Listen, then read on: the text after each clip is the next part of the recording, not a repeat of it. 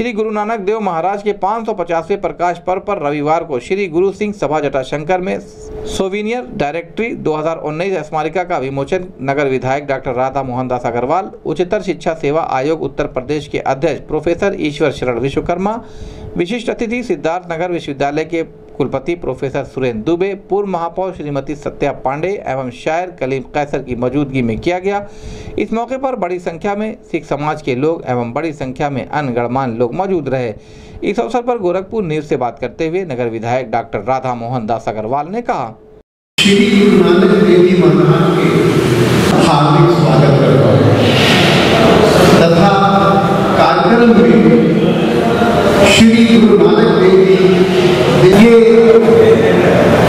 गुरु नानक देव जी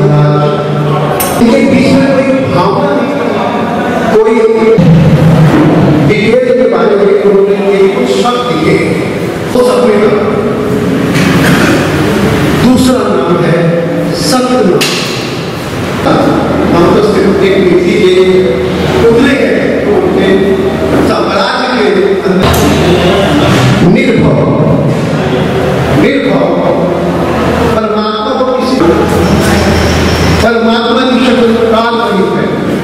उसका कोई आकार नहीं है, वो शक्ति। आत्मा को किसी ने ना तो जन्म दिया है, ना ही परमात्मा को किसी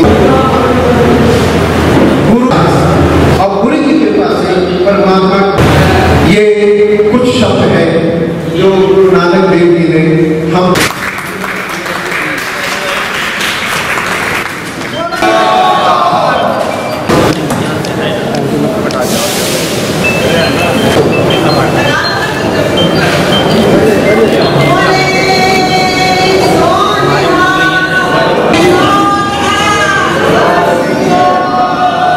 देखिए ये तो बड़ा आना, आनंद का विषय है।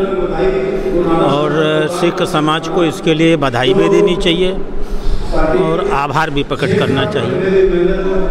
एक बहुत उच्च कोटि की दिग्दर्शिका जिसके माध्यम से शहर में कार्यरत सभी अति विशिष्ट लोगों के बारे में जानकारी सिख समाज का मानव धर्म और हिंदू धर्म की रक्षा में किए गए कर्तव्यों की जानकारी।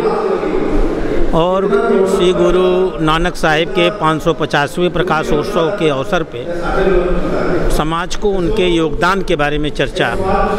इन तीनों विषयों पर एक सामूहिक जानकारी इस पत्रिका के माध्यम से दी गई है। आज हम सब उसके विमोचन में इकट्ठे हैं। और बहुत उच्च कोष की पत्रिका जैसा कि मैं प्रथम दृष्टया देख पाया हूँ।